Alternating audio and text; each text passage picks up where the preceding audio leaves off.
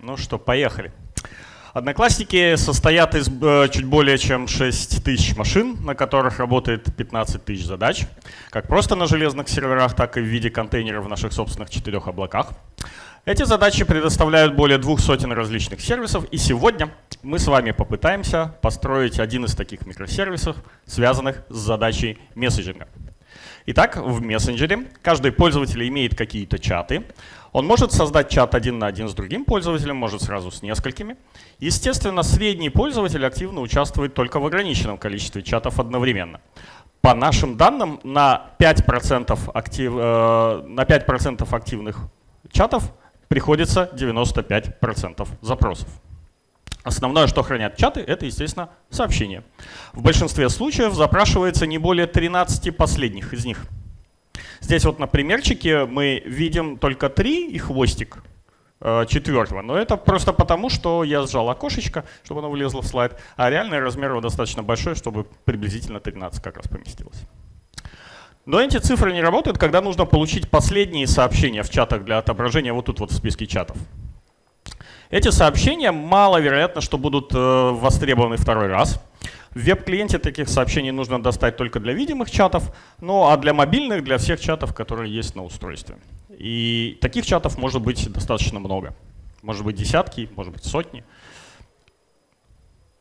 Мы будем наш, строить наш сервис для хранения сообщений, который сам по себе, естественно, достаточно масштабный. А, более полутриллиона сообщений в 5 миллиардах чатов мы будем пытаться э, обслуживать. Это где-то сотня терабайт без учета репликации. А, будем строить, естественно, высоконагруженный сервис, так интереснее. Более сотни тысяч чтений в секунду и всего 8 э, тысяч на запись. То есть сервис высоконагруженный на чтение. Как любой современный мессенджер, нас также должен, наш э, также должен поддерживать полнотекстовый поиск. Вот тут можно ввести, что поискать, и получить все чаты с найденными сообщениями. Это значит, что сообщения нужно периодически обходить для индексирования. Ну и другие задачи, связанные с э, периодическим обходом данных, должны быть реализованы, там антиспам и прочее, прочее. Сами сообщения — это, естественно, не только текст, это какая-то структура. А вот здесь у нас э, вот здесь вот ID чата у нас, ID э, сообщения, которое я изобразил в виде времени сообщения, автор сообщения, его тип, здесь вот три типа. Текст, видеозвонок и какой-то спам, да, собственно, данные этого сообщения, ну, атачи, если они есть. А, то есть, в принципе, у нас э, получается приблизительно вот, вот такая табличка. Ну и на этой табличке мы должны реализовать следующие операции. Наш микросервис должен реализовать следующие операции. GetMessages получает э, список сообщений в конкретном чате для конкретного пользователя, ну, потому что некоторые сообщения могут быть удалены этим пользователем, некоторые спам и так далее. GetLastMessages — это самый тяжелый запрос. Э, если предыдущий должен работать, этот самый быстрый, потому что он чаще всего вызывается, то этот самый тяжелый, потому что он как раз получает последние сообщения из списка чатов, то есть он должен обойти очень большое количество чатов для того, чтобы обработать, а, а, быть обработанным. А, add — это, собственно, новое сообщение. Э, search — это, собственно, полнотекстовый поиск по чатам. Ну и индекс messages для того, чтобы этот, собственно, инвертед индекс построить. Давайте попробуем реализовать вот это все с использованием современной микросервисной архитектуры, конечно. Итак, пользователи с мобилки или с веба, либо напрямую, либо через какие-то фронты, работают с нашим сервисом сообщений через наш любимый протокол, в котором реализована бизнес-логика. Дальше данные мы храним отдельно, в отдельном постоянном хранилище, отказоустойчивым, надежным, конечно. Кто считает, что таким хранилищем может быть Cassandra? Молодцы. Поставили Кассандру, отдельный кластер, и для администрирования этой Кассандры мы наняли от солидного бородатого DBA. Вот, и мы нашей хипстерской персоной, но мы отвечаем только за наше приложение. Ну все, готово, что? Микросервис есть, данные сделали, пора запускаться. Попробуем для начала реализовать вот этот вот запрос, get messages, э, это приблизительно вот такой запрос нужно выполнить в базу данных. Есть только одна небольшая проблема. Таких запросов поступает более 100 тысяч в секунду. Есть некоторая нагрузка. И сервис, в общем-то, ложится, да? Ну что, масштабирование — это же то, что мы умеем в микросервисах, правильно? Давайте добавим инстансов, добавляем для нашего сервиса и обнаруживаем, что нагрузка теперь проваливается в базу и теперь ложится она. Что дальше? Ну, мы можем либо масштабировать базу, либо воспользоваться знанием, что 5% э, собственно активных чатов — это большинство запросов. Что будем делать? Кэшировать будем. Да? Вот э, Борода DB тоже нам подсказывает, э, что в базе-то данных есть встроенный кэш. Пробуем. Кэшировать данные. Кэш в базе данных. Включаем. Э, помогает немного. Оказывается, есть тонкости в других методах сервиса. Вызовы getLastMessages и индексирование работают не только с активными, но с абсолютно всеми чатами. И хоть их мало, таких вызовов, всего 5%, но даже меньше одного, извините, процента, но они приводят к тому, что в кэш попадают те 95% записей, которые нам, в общем-то, нафиг не нужны там. И вытесняют оттуда нужные нам записи из этого кэша.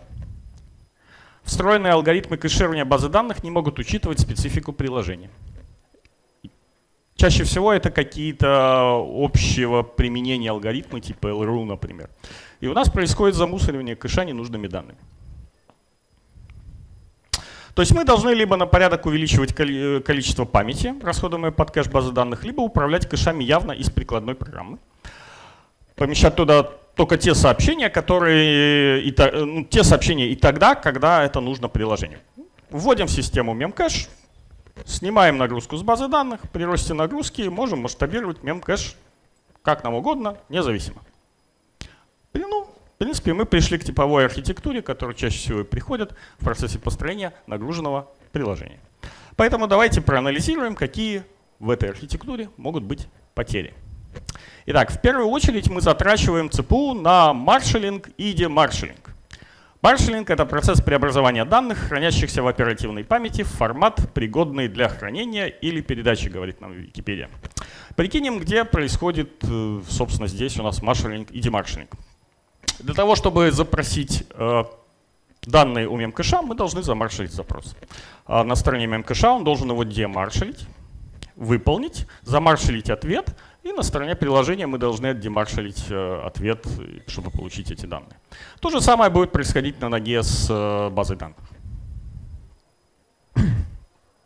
Насколько велики вот такие потери на маршалинг, демаршалинг могут быть? 10%, 20%? Кажется, немного интуитивно, но э, есть недавно проведенные исследования группой исследователей из Google и Stanford University, и они утверждают, что на маршалинг и демаршалинг в такой вот архитектуре тратится до 80% нагрузки ЦПУ лишней. То есть она дает плюс 85% нагрузки на ЦПУ. И дает за счет этого плюс до почти 30% к медианной задержке.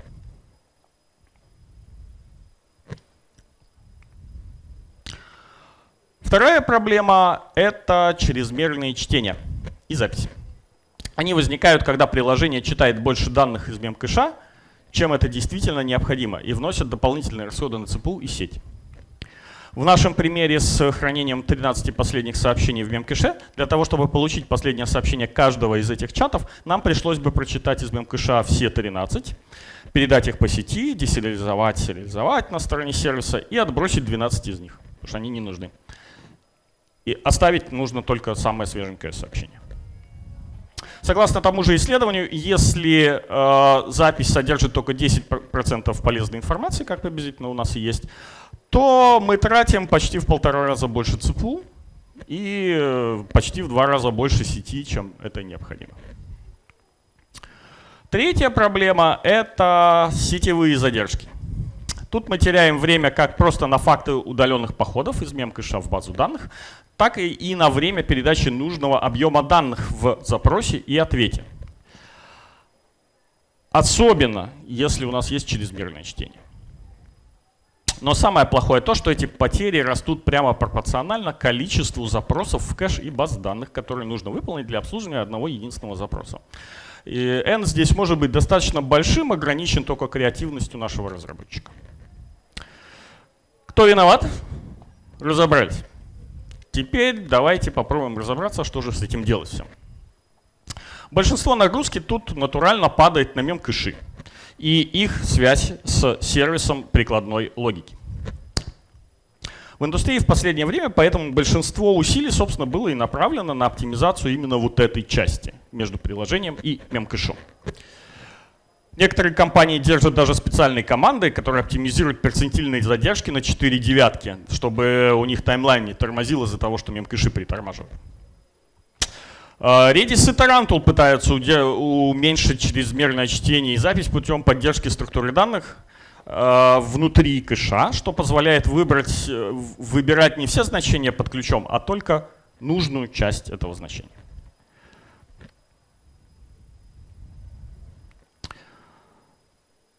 Теперь немножко экзотики. Netcache пытается уменьшить сетевые задержки путем построения мемкэшей прямо на инфраструктуре сетевых свечей прямо туда. Есть еще одно интересное экзотическое решение KV Direct. Пытается бороться с демаршалингом, излишним маршалингом путем переноса этих задач с ЦПУ на чип сетевой карты. Тут мы можем заметить, что большинство проблем возникает именно из-за факта удаленности необходимых данных от приложения. И мы можем решить эти проблемы кардинально очень просто. Просто двинув данные поближе внутрь процесса к приложению. И таким образом мы переходим к идее микросервиса с состоянием. Микросервис с состоянием объединяет прикладную логику сервиса с кэшем в памяти одного и того же процесса. Это кэш специализированный. В нем реализуются операции, необходимые для прикладной логики. Это позволяет полностью избавиться от потерь, связанных с сетевыми задержками. Теперь между этими компонентами натурально сети нет. А, прикладной интерфейс встроенного кэша позволяет реализовать нужный функционал без чрезмерных чтений и записи. Прикладная логика и кэш обмениваются данными в памяти одного процесса, и мы можем выбрать приемлемый для обоих формат данных, что позволяет сильно снизить затраты на маршалинг и демаршалинг. В идеале можно даже полностью их убрать. Совмещение базы данных в одном процессе с сервисом решает те же самые проблемы на второй ноге нашей архитектуры. И позволяет просто интегрировать все компоненты в случае необходимости. Ну и вредный дядька DBA нам больше не нужен. Теперь мы сами себе девопсы и сами отвечаем за все компоненты системы. Так мы получаем сервис, всегда работающий быстрее при одинаковой реализации приложений, конечно. За счет экономии в два и более раза на потерях, которых теперь просто нет. Хм, может оно будет глючить, если оно не будет тормозить? Давайте посмотрим, что может пойти не так в такой системе. Для начала вспомним, что может пойти не так в простейшей распределенной системе, состоящей из двух машин – клиент и сервер. Клиент посылает запрос серверу, сервер его обрабатывает и посылает сообщение с ответом. Что может пойти не так в такой системе? Пропажа клиента и пропажа сервера. Внезапный крэш э, сервера, получил сообщение, крэшнулся. Клиент отправил сообщение, крэшнулся может произойти потеря исходящего или входящего сообщения, переполнение сетевых буферов, а, неудачно тетя Маня задела сетевой кабель, все что угодно.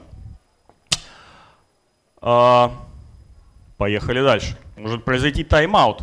То есть сервер отвечает вне указанных заранее временных рамок, слишком долго обрабатывает программист, зараза, накосячил, может быть. А, или в ГЦ пошло, или еще что-то произошло, или в своп поехал, памяти не хватило. Кто еще знает, что может произойти? Неправильный запрос или неправильный ответ. То есть сервер или клиент отвечает, посылает сообщение, которое другой, другой конец не может понять. Классическая схема, когда у вас есть микросервисы с э, какой-то схемой запросов и э, часть обновили, часть нет. Ну и последнее, что может произойти, это произвольный отказ. То есть э, участник начинает посылать сообщения в рандомное время рандомным, э, по рандомным адресам. Ну, это могут быть какие-то, например, DDoS-атака, это вот произвольный отказ. А, это, например, вышедший из-под контроля ретраи, то есть сервер начинает, клиент начинает ретраить э, и ретраить, и ретраить запрос, который он, в принципе, не должен это делать.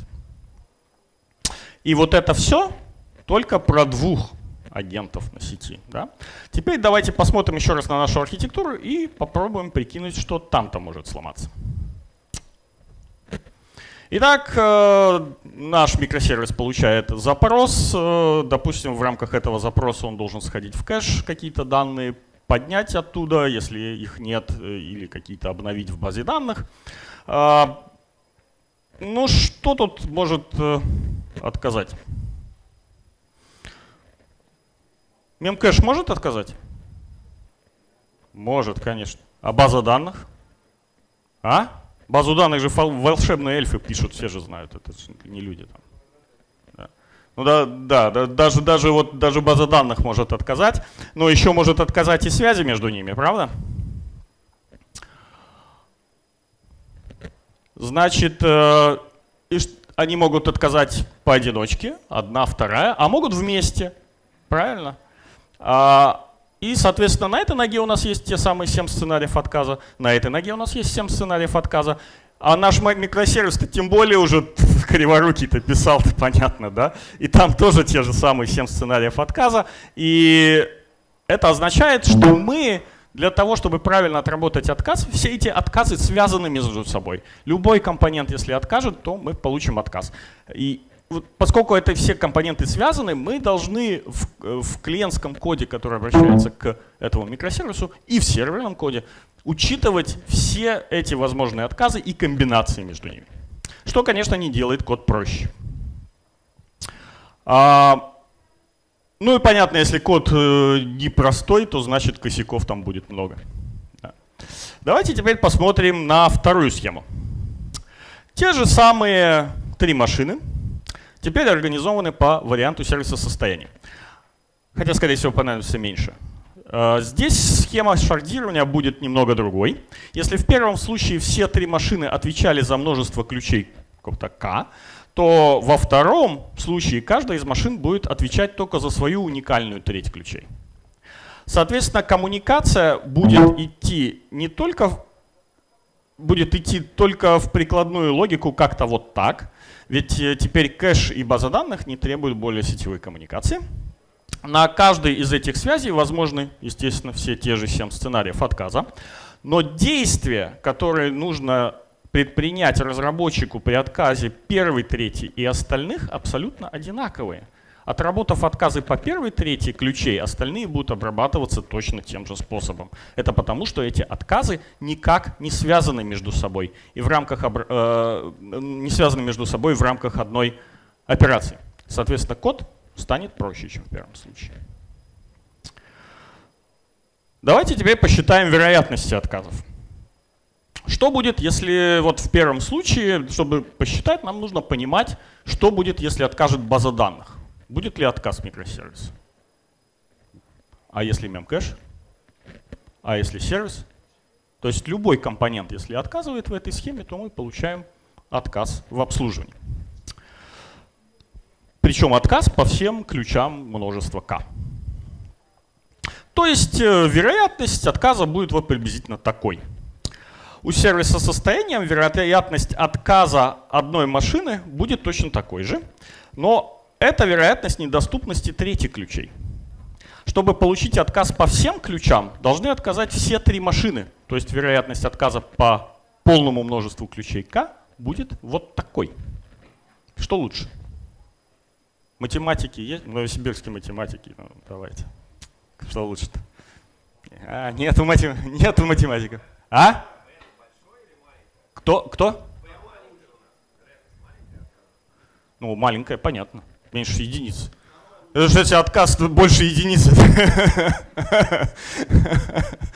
Ладно, так, математиков мало, мы инженеры, давайте подставим. Вероятность отказа всегда меньше единицы, естественно. Ну, это очень большая вероятность отказа, просто для наглядности. Посчитали циферки, а получилось вот как-то так.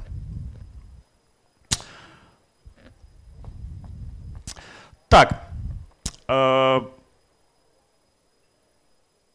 Ну, то есть очевидно, что вторая схема да, на несколько порядков надежнее. Ну, тут можно сказать, что мы можем, реплицировать, да, мемкэши это отказоустойчивость же там не, не по одному инстансу надо ставить, а несколько, правильно? И таким образом мы уменьшим на порядок э, вероятность отказа. Но самое интересное то, что реплицировать-то можно и вторую схему точно так же. И уменьшить вероятность отказа на два порядка. Да? Получаем, что сервис с состоянием всегда будет надежнее при одинаковом и даже меньшем количестве машин. На э, досуге можно посчитать, если поставить здесь по две реплики, посчитать вероятность, и не поставить реплики туда и посчитать, что будет надежнее в этой схеме. Посчитайте, интересный результат. А, ну, что ж, хорошо. Хорошая новость состоит в том, что мы знаем, что хотим сделать и почему. А плохая состоит в том, что готовых фреймворков на эту тему нет. И будем велосипедить все это из того, что есть. С чего начнем? Мы хотим, чтобы наш сервис был высокодоступным, а это значит, что должна обеспечиваться репликация и быть определены какие-то гарантии консистентности данных между репликами. Ну и, понятно, масштабируемым, чтобы при увеличении нагрузки мы могли на ходу добавлять мощности. Ну а поскольку сервис теперь совмещен с данными, то и решардинг должен быть, быть там натурально, потому что при добавлении э, реплик, при добавлении реплик нужно как-то эти данные тоже двигать. Это все, конечно, можно реализовать самим. Это интересная задача лет на несколько. А, но быстрее, наверное, взять что-то готовое и допилить. Слова репликация, консистентность, ну и решардинг намекают нам на то, что мы можем найти что-то готовое в современных распределенных базах данных, поэтому надо определиться, в общем-то, с ней в первую очередь. База данных для совмещения должна быть на языке приложения, так значительно проще переиспользовать код приложения. А значит, э, естественно, что она должна быть э, open source. Э, у нас все приложения на Open source она еще должна быть, потому что мы будем ее допиливать, понятное дело, велосипедить же собрались. Вот, будем ее допиливать, поэтому тоже open source. А в Одноклассниках все приложения написаны на Java. Значит, нам нужна база данных на Java, open source, высокодоступная, масштабируемая, и вот это вот все. И э, мы, понятное дело, выбрали Cassandra. С тем, что встраивать мы определились, теперь надо понять, как встраивать. Встраивать это означает, что нам нужно запустить базу данных внутри GVM нашего микросервиса. Если посмотреть скрипты запуска Cassandra, то становится понятно, что запуском занимается вот этот класс. А значит, все, что нам нужно сделать, а, включить э, необходимые библиотеки в класс пас нашего сервиса и вызвать Cassandra демона вот таким заклинанием. А, ну, в принципе, все. Даже трех пунктов не понадобилось. А? Вот это вот Cassandra YAML, если кто имел дело с Cassandra, знает, что это просто конфигурационный файл ноды Cassandra. На самом деле даже запись этого Cassandra файла не обязательно, там внутри в кодебейзе есть вот такой интерфейс, вы можете его имплементировать для стыковки, э, ваша, для стыковки Cassandra в систему централизованной конфигурации, если она у вас есть. Базу данных строили теперь, все, готово, работает. Теперь вместе с э, кодом нашего сервиса у нас есть данные прямо рядом. Давайте посмотрим, как это меняет маршрутизацию клиентских запросов. Вот сверху у нас есть клиент по имени Леха. Он хочет попереписываться в чате, ключ которого, ключ которого попадает в определенное множество ключей B. Для этого кожаный мешок Леха использует какой-нибудь фронт, именно поэтому я обвел его зелененьким. А, для сервиса без состояния фронту почти все равно, на какой конкретно работоспособный инстанс сервиса делать запрос. Он может сделать, например, на этот, а может э, на этот э, и на эти. Со всех этих инстансов цена обслуживания запросов будет одинаковой. Им нужно будет делать запросы за, за данными по сети, на кэши, на базу данных, на которых они есть. Для микросервисов же с состоянием каждый из инстансов имеет какую-то часть данных локально. Каждый имеет свой интервал ключей, который мы, я тут обозначил как А, Б и С. И теперь ноде, владеющей интервалом ключей B, незачем куда-то ходить по сети. Все данные для выполнения запросов доступны либо в памяти процесса, либо на локальных дисках этой ноды. А у остальных нод нет данных нужного Лехи интервала B, и им придется работать с ними по сети. А значит, цена обработки запроса для них сразу увеличивается на демаршалинг и сеть. То есть для того, чтобы запрос по интервалу ключей обрабатывался эффективно, мы не должны обращаться к нелокальным данным. А сделать это мы можем только если клиенты будут вызывать сразу нужный инстанс сервиса. То есть нужна маршрутизация запросов, учитывающая топологию кластера. То есть информацию о распределении данных по нодам. Мы можем реализовать такой роутинг на фронте в виде библиотеки. Тогда такая библиотека делала бы запросы по ключам сразу на нужные ноды. А эти ноды могли бы работать только с локальными данными. Но вот такое распределение данных диктует база данных, которую мы строили. Давайте посмотрим, как... А строили мы Кассандру, да, посмотрим, как Кассандра, собственно, это делает. В Кассандре каждый ряд имеет, э, имеет ключ, составленный из двух компонентов. Partitioning key, э, на его основании выбирается нода, на которой будут расположены эти данные, и кластеринг key, который в распределении данных по нодам не участвует, но определяет порядок, в котором записи будут упорядочены внутри партиций. Записи с разными партишнинги попадают в разные партиции и могут быть распределены на разные ноды. А записи с разными только кластеринги находятся в одной партиции и всегда будут находиться на одной ноде, на той или на другой. В мессенджере порядок следования сообщений в чате важен, а разных чатах между собой нет. То есть для нас как раз partitioning key будет э, правильно выбрать ID чата, а как кластеринг key ID сообщения. С точки зрения кода в распределении данных участвуют следующие компоненты. Partitioner на основании данных, э, на основании значения partitioning key вычисляет токен, все доступные значения которого принято изображать в виде кольца. Partitioner задается один раз на весь кластер и не может быть изменен впоследствии.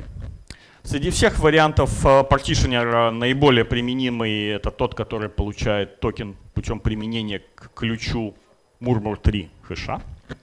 Ну, это в Кассандре. Другая структура — это token metadata. Это глобальная структура, в которой хранится разбиение кольца на интервалы и соответствие интервалов ключей нодам, на которых хранится первичная реплика.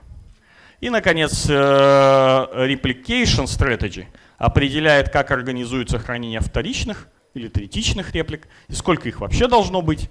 Э, replication strategy можно указывать разных для разных таблиц. Все.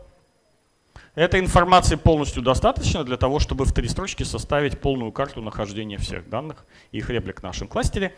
Endpoint map будет содержать соответствие между максимальным токеном интервала и адресами всех реплик, попадающих в этот интервал ключей. Передав этот endpoint map на клиента, легко сделать нужную нам маршрутизацию. Стоит, правда, иметь в виду, что топология кластера меняется время от времени. Поэтому необходимо организовать обновление какой-то этой информации. Ну, также стоит подумать о том, что делать, если э, клиент использует устаревшую топологию. Тут может быть несколько вполне очевидных стратегий, мы их, наверное, рассматривать подробно не будем.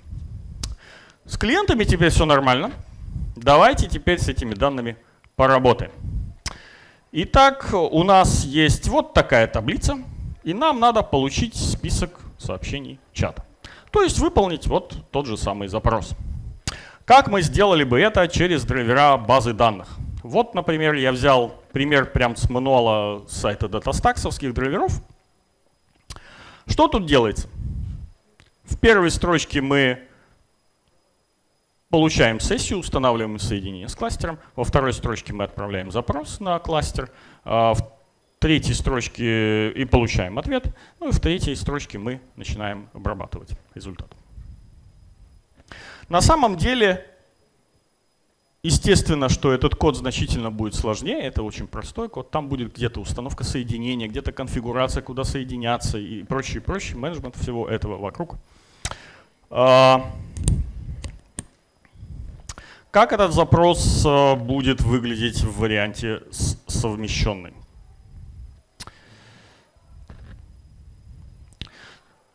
Для того, чтобы выполнить э, подобные запросы изнутри, есть вот такой вот класс и вот такой вот метод. Он выполнит переданный запрос с указанным consistency level и параметрами, и вернет э, result set. Обратите внимание, что метод статический. Никаких соединений нет, никаких сессий нет. Это потому, что сервис уже работает в контексте своей базы данных, ему некуда соединяться, он и есть база данных. Соответственно, сообщение для getMessages получит вот такой приблизительно код. Аналогичным способом для добавления сообщения мы должны выполнить вот такой запрос. Вот такой запрос. Все просто. Если покопаться в query parser, то можно найти более эффективные способы получения записей из базы данных. Они не так просто выглядят, поэтому я здесь их не нарисовал. Мы используем в реальности, конечно, более эффективный вариант. Но даже вот этот неэффективный вариант, он будет быстрее за счет того, что вы получите, используя любой клиентский драйвер. Ну вот мы подобрались к самому интересному реализации встроенного, прикладного, кастомизированного кэша сообщений. Для начала давайте посчитаем, сколько данных он будет хранить. Итак, всего у нас вот столько данных. Э, только 5% активных чатов, из которых мы хотим сохранить сообщения в кэше, которые составляют, собственно, наши последние 13. Э, ну, в кэше мы хотим хранить последние только 13. Все исходные данные у нас есть, можем посчитать, что в памяти нам попадает вот приблизительно такое количество сообщений и данных. Это без учета репликации. Их нужно еще поделить, конечно же, на количество э, партиций в кластере или нот в кластере и умножить на replication фактор. Из э, всего набора методов для кастомизированного, для специализированного кэша нам нужно реализовать, собственно, только первые три, так как как раз э, методы обхода полного датасета мы как раз не хотим, чтобы работали с кэшом. И начнем с реализации getMessages. Пользователь Лиза открывает окру и выбирает чат с Лехой. То есть мы через WebFront получаем на нужный нам инстанс запрос getMessages. А, далее прикладной код проверяет, есть ли, собственно, сообщение этого чата в нашем кэше. Нет, нету. Грузим из Cassandra, э, из базы данных. А, получаем какой-то ответ, кэшируем его в локальном кэше и возвращаем на фронт. Готово. Почувствовав возмущение в силе, кожаный мешок Леха через мобильное приложение делает то же самое и удачно попадает на другую реплику. Делает запрос, и там происходит все то же самое и с тем же самым результатом. Заботясь о состоянии Леха, Лиза предлагает ему сходить пообедать, то есть вызывает метод ADD. Сервис отдает, создает сообщение во встроенной базе данных и добавляет его в кэш. Его состояние теперь будет таким. Все, сообщение отправлено. Леха получает пуш на телефон, запрашивает сообщение у другой реплики, прикладуха отдает данные из кэша, они же там уже есть. И Леха остается голодным. Очевидно, мы должны как-то сообщать другим репликам, что появилось новое сообщение. Мы можем использовать информацию о топологии кластера, точно так же, как мы делаем это для клиента, вычислить все реплики и нотифицировать их все с новым сообщением, взяв, например, какой-нибудь э, специальный метод, реализовав. И тогда мы бы вставили э, это новое сообщение в наш кэш, и все было бы хорошо. Или нет? Что может пойти не так, мы помним. Да? То есть у нас кэши находятся на других машинах. И это означает, что между ними может пропасть сеть. То есть наш метод может удастся вызвать в каких-то случаях, а в каких-то не удастся вызвать. А, однозначно, что не все нотификации будут достигать все реплики. Состояние кэшей будет со временем сильно расходиться.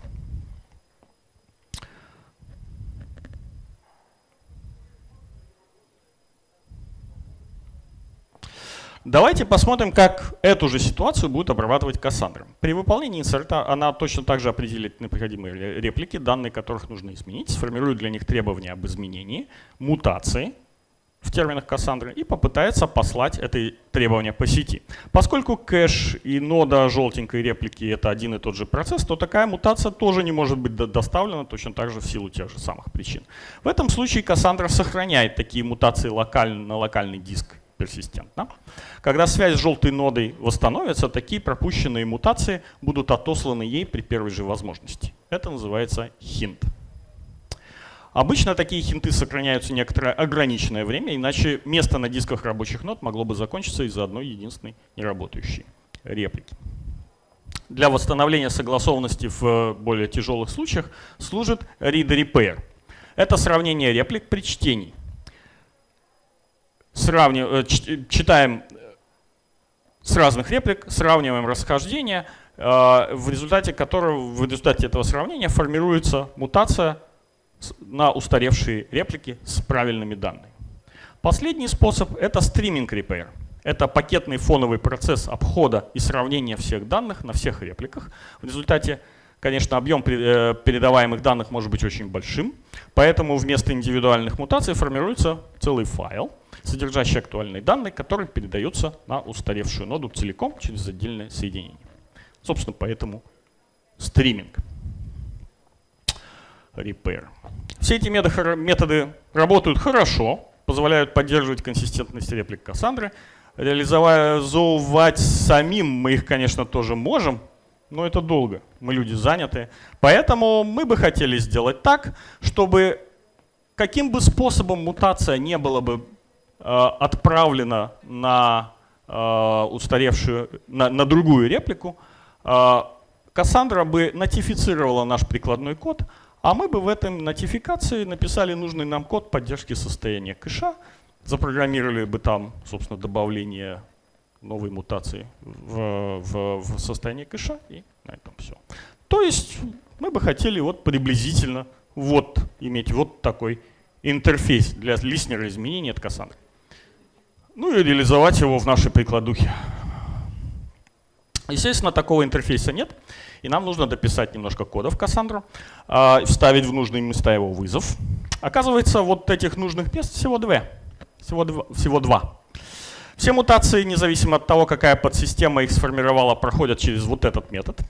Object, э, объект mutation вот здесь содержит, собственно, список новых данных для различных таблиц ноды. Можно просто брать эти данные и совать в listener как есть. Весь стриминг заканчивается вот таким он completion runnable. Взяв список таблиц, достаточно просто пройтись по ним итераторам и вытащить оттуда данные, которые пришли, и тоже позасовывать их в листнер. Рассмотрим теперь ту же ситуацию. Доставить мутацию невозможно, но не из-за проблем на сети, а потому что сервер пошел в ребут или случился крэш. Состояние нашего кэша в памяти теперь пропал. Теперь хинты нам не помогут. Хинты содержат только новые данные, а для getMessages нам э, нужны старые тоже. А их мы можем получить только дочитав их из, из базы данных. Дочитывать придется для всех чатов этой ноды, что приведет к лавинообразному увеличению количества чтений из базы данных сразу после старта желтой реплики. Ну, а чтение будет идти с нескольких реплик, и поэтому есть шанс, что мы... Чтение, точнее, обслуживаются несколькими репликами, и поэтому есть шанс, что мы уложим весь кластер внезапной нагрузкой на старте одной из нот. Что же делать? Тут есть несколько стратегий. Наиболее общеприменимая — это снапшот плюс write-ahead log. Но ведь у нас есть Cassandra. Соответственно, программировать отдельный снапшот и write ahead load нам не нужно. Мы можем сделать вот такой keyspace с недокументированной replication strategy под названием local strategy, которая означает, что это данные не реплицируются, они просто локальные. Э, соответственно, при там вот такую табличку создать, и, соответственно, при помещении в кэш записывать в эту табличку, при эвикшене из кэша удалять из этой таблички. И тогда после ребута, собственно, все, что нам нужно, это считать все данные этой таблички. Вот приблизительно таким запросом, положить их в кэш и потом хинтами догнать новое, то, что мы не видели.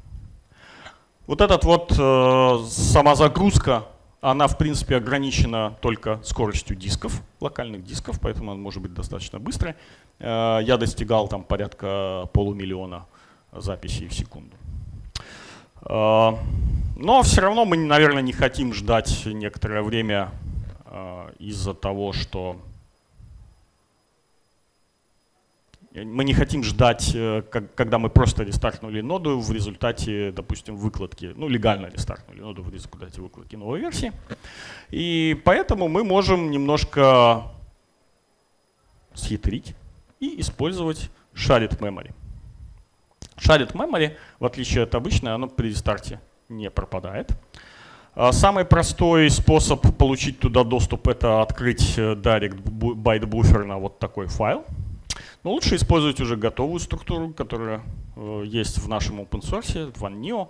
Он доступен на GitHub. Вот в этом пакете обратите внимание на шарец Memory Map и его потомков. Там есть всякие, на всякие вкус и цвет можно подобрать нужны. Этот класс можно использовать, замонтировав просто TMPFS под defshm что делается обычно по дефолту, но мы также используем и Huge TLBFS, что позволяет делать более крупные страницы памяти на уровне операционной системы, а значит уменьшить количество TLB-миссов и убыстрить работу с памятью в особо интенсивных случаях. Теперь данные ниоткуда грузить не надо. Shared Memory Map только проверяет валидность данных в, разделенной памяти, в разделяемой памяти. Это происходит очень быстро. И теперь э, снова наша ситуация с рестартом реплики. Теперь старт стал быстрым, потому что ничего грузить не надо. И часть запросов успевает проходить до того, как придут хинты. И Леха снова получает устаревший вариант. И снова остается голодным. Почему так? Процесс посылки хинтов в Cassandra асинхронный by design. Поскольку при чтении Cassandra обращаются к нескольким репликам для определения согласованности данных и может отбросить устаревшие данные с рестартнутой ноды. Хинты, в общем-то, не обязательны для соблюдения согласованности. Наше же приложение в 15 раз больше нагружено именно на чтение, чем на запись. Такой вариант согласования реплик на чтении для нас будет слишком тяжелым. Поэтому мы сделаем так. Мы запускаем сначала сетевые сервисы нашей встроенной базы данных. Ждем, пока она примет хинты от остальных нод кластера. И только после этого мы запускаем обслуживание прикладных запросов сервисов. С этого момента на сервис могут поступать запросы от клиента.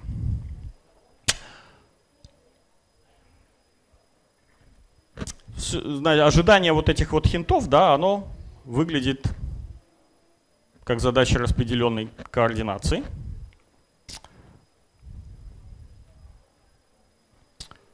Мы пробовали несколько различных стратегий, остановились в итоге на простейшей. Нода, которая стартует, она периодически опрашивает остальные реплики, есть ли у нее хинты еще не проигранные для меня. Да, и продолжая ждать до тех пор, пока другие реплики отвечают, что э, эти хинты есть. И как только она отвечает, что нет, то значит нет ни одной ноды, которая проигрывает на меня хинты, значит я продолжаю стартовать. С этим разобрались. Наконец-то. Поехали дальше. Теперь можем подступиться к самому тяжелому запросу, получить последние сообщения в списке чатов. Этот запрос должен просмотреть списки сообщений по множеству чатов. Разные чаты могут быть расположены на разных нодах, а значит нет одной ноды, владеющей всеми данными. Запрашиваются данные в большинстве своем неактивных чатов, как мы видим. Активен только один чат из многих тут на картинке, значит этих данных нет в кэше. И загружать их в кэш смысла нет. Маловероятно, что они станут активными в ближайшее время. Данные таких старых чатов, если они не в кэше, скорее всего, уже согласованы, так как на старых данных, скорее всего, уже произошли все необходимые процедуры согласования. И хинты, и реперы, скорее всего, отработали. А если чат становится активным и его согласованность потенциально может нарушиться, то он будет помещен в кэш сразу же и перестанет быть старым. Возможно, мы что-то сможем сэкономить на этом знании, посмотрим дальше. Как бы мы реализовали этот метод в сервисе без состояния? Клиент вызвал бы метод в сервисе, прикладная логика которого опросила бы мемкэши для каждого чата из списка и базу данных для тех старых чатов, которые уже были вытеснены из кэша. В сервисе с состоянием нет единого сервиса с полным набором данных, а проксировать вызовы с одного инстанса на другие неэффективно. Наиболее эффективно иметь реализацию этого метода на всех участниках, и на сервисах, и на фронте клиента. Тогда клиентская реализация использует информацию о топологии кластера и разбивает список ключей чатов на несколько списков. Для каждого инстанса сервиса свой. Выбирает реплику, вызывает ее, передав ей список с ID ее чатов. То же самое с остальными э, партициями, со, с репликами из остальных партиций. Сервисы отрабатывают эти запросы и возвращают данные, каждый свою часть на клиента, а клиент, дождавшись ответа по всем нужным ключам, объединяет результат. Готово. Можем рисовать наши чатики. Внутри же каждой реплики выполнение было бы таким. Обращаемся в кэш, откуда получаем данные для активных чатов, и в базу данных для неактивных. Но База данных в этом случае это Cassandra. Она будет делать сетевой запрос на остальные реплики для возможного согласования устаревших реплик данных. А это дополнительная сетевая коммуникация. Но мы знаем, что согласованность на старых чатах нам не важна. Скорее всего, данные согласованы. Поэтому мы могли бы убрать большую часть сетевой коммуникации и ожидания в нашем самом тяжелом запросе запросив данную базу данных только с локальной реплики. В стандартном API Cassandra такого способа нет. Но наш сервис-то работает вместе с базой данных. И, в общем-то, публичным API не ограничен. Как-то вот так можно это сделать. Здесь приблизительно много всякой магии, да? Но на самом деле это все то же самое. Мы делаем statement, передаем им параметры, просто немного по-другому. Отличие в том, что это вот значительно быстрее, так как множество накладных расходов, связанных с сетевыми активностями и согласованием реплик, просто не делаются. А покопавшись в коде, можно еще быстрее все это сделать, но тут у нас тогда в икан это не влезет, поэтому не буду приводить.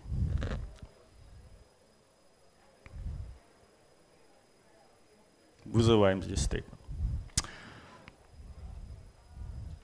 Так, добрались до полнотекстового поиска.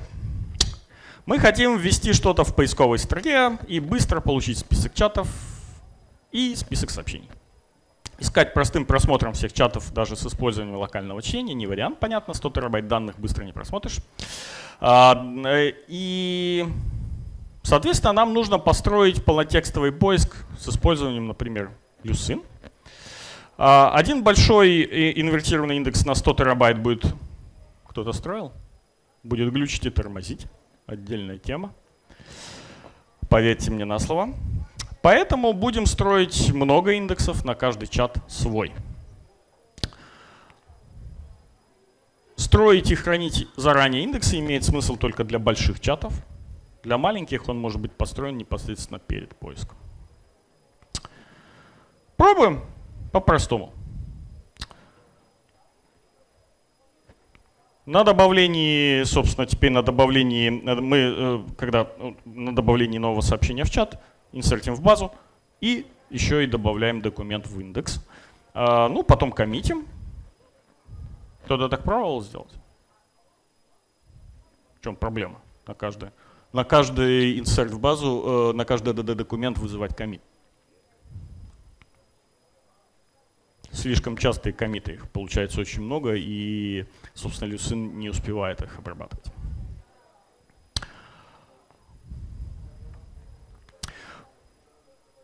Также мы можем не делать комит на каждый документ, да, а делать как когда-нибудь и вообще его не делать. Тогда получится слишком много открытых индексов, потому что одновременно переписка идет по множеству чатов. Да. Что же делать? То, что мы хотели бы, это какой-то фоновый процесс, который предварительно объединял бы множество сообщений одного чата в один пакет по мере их появления, но не очень часто. И такой процесс в Cassandra уже есть, он называется Compaction. Для тех, кто хочет узнать о нем поподробнее, там вот внизу ссылочка. Это процесс слияния различных поколений данных, которые Cassandra делает сама по себе для поддержания структуры на диске. Данные просматриваются при этом в порядке следования их кластеринг что для нас означает, что вклинившись в этот процесс, мы получаем данные сразу в нужном нам порядке для индексирования. В Cassandra этим процессом занимается вот такой вот класс. Дописать туда небольшой еще дополнительный вызов нетрудно. И теперь у нас есть бесплатная массовая обработка данных на нашем кластере. Теперь давайте с тем, что мы тут вот на велосипеде попробуем пожить. Первое, с чем мы столкнемся, это увеличивающееся время деплоя. Теперь сервис совмещен с базой данных и на старте тратит время вот на вот эти вот активности. Если выкладка происходила плавно, по одному инстансу сервиса за раз, то время выкладки растет пропорционально количеству реплик. Это может теперь занимать значительное время. Тоже делать.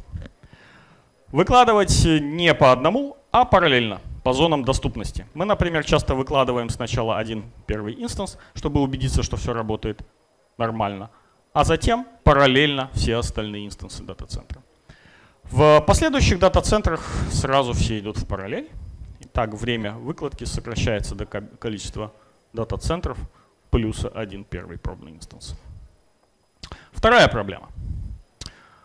База данных теперь натурально совмещена с приложением. Соответственно, когда мы выкатываем апдейт на наш сервис, мы рестартуем базу данных каждый раз. Тут интуиция говорит нам, мы же так часто рестартовать базу данных, да вы что? Что делать с этим? На самом деле с этим ничего не надо делать, потому что рестарт базы данных — это отличный бесплатный способ протестировать отказоустойчивость нашего сервиса. У нас отказоустойчивая база данных, рестартовать базу мы натурально можем в любой момент. Это ни к чему не должно привести. А вот что является реальной проблемой, это взаимное влияние прикладухи на базу данных.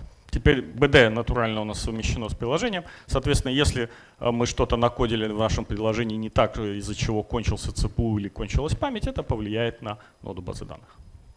Что делать? Мы в этом случае делаем э, продленную тестовую эксплуатацию новой версии. То есть мы, если есть какие-то изменения, которые могут привести к таким последствиям, мы выкладываем э, на один, один дата-центр э, новую версию, ждем довольно долгое время. Если все хорошо, день можем ждать два, то тогда раскатываем на остальные. Соответственно, максимум, что мы можем потерять, это новую версию вот в одном дата-центре, но остальные будут работать, и с ними все будет хорошо.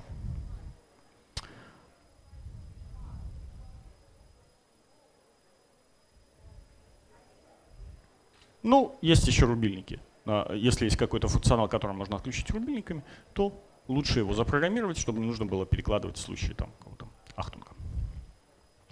Ну и следующее, с чем придется столкнуться, апгрейд встроенный BD на новую версию. Мы тут наиспользовали кучу внутренних API документированных. Да? И интуиция нам говорит, они же там все поменяют, и, и, и все, мы не сможем обновлять нашу базу данных. И потом, что же делать? На самом деле API — это отражение архитектуры базы данных. Архитектура базы данных меняется очень редко.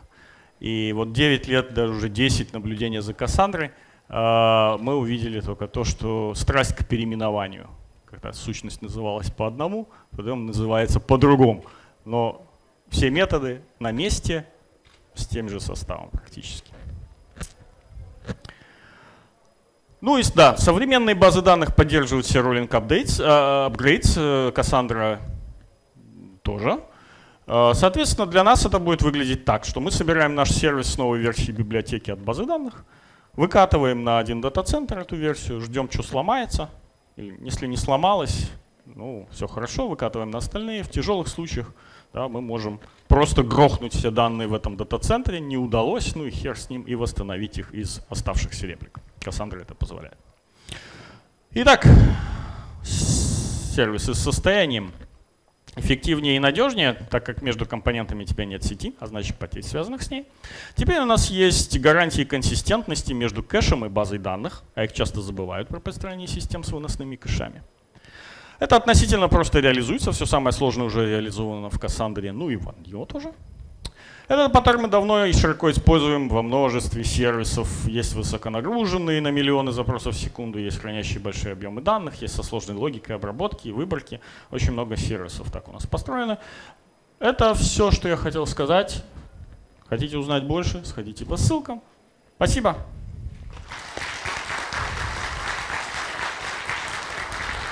Вопросы?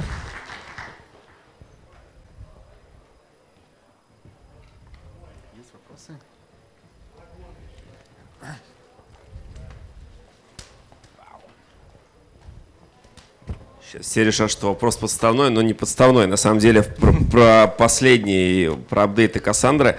А насколько часто вы реально этим занимаетесь, из апстрима забираете что-то и мерджитесь? Это такой первый вопрос. Когда это было последний раз, скажи мне честно? Не, ну, на самом деле мы э, из апстрима мы не забирали. Ну, забираем, но э, черепикаем что-то, если нам очень хочется. А, но на самом деле мы переводили сервисы с э, нашего внутреннего форка 0.6 на наш внутренний форк, который мы форкнули от 2.0. Все с тобой понятно, да. внутренние форки. А если по-другому зайти, если сделать какой-то слой, который просто заворачивает э, все то, что вы дергаете, чтобы было проще как-то из апстрима что-нибудь вытаскивать? Ну, то есть вот у вас есть набор методов, ты их знаешь, типа, вы, ты говоришь, что там типа код это там 10, 20, 30 строчек. А, ну, как вот если это как-то слоем завернуть. У нас такой есть, да, а. на самом деле, да. Есть просто класс, который типа адаптер между версиями Кассандры. Ну, это очевидно, да. У меня есть вопрос. Э, спасибо за доклад, очень интересно. Э, когда э, вы стартуете ноду, я вот здесь. А я не вижу. Да, вот он О, я. Так.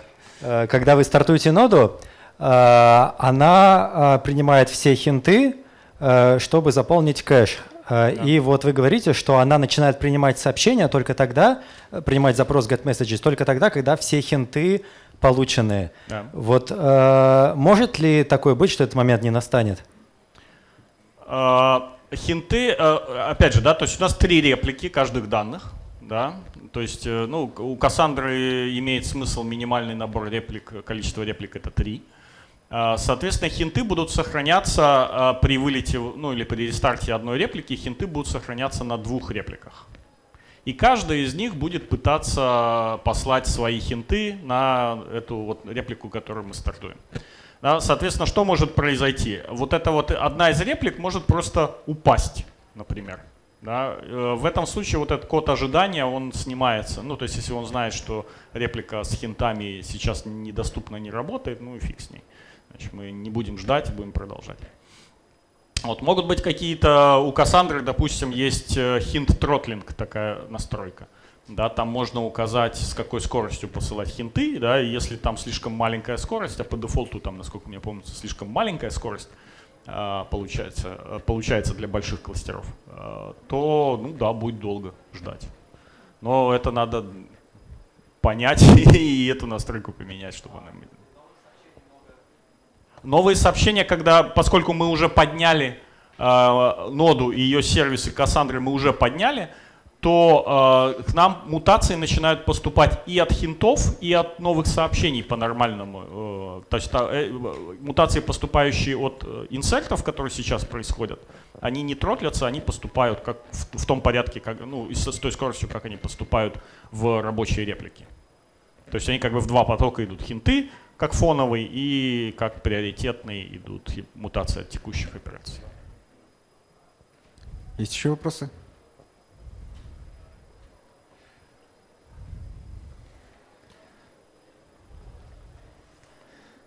Ну, если вопросов нет, то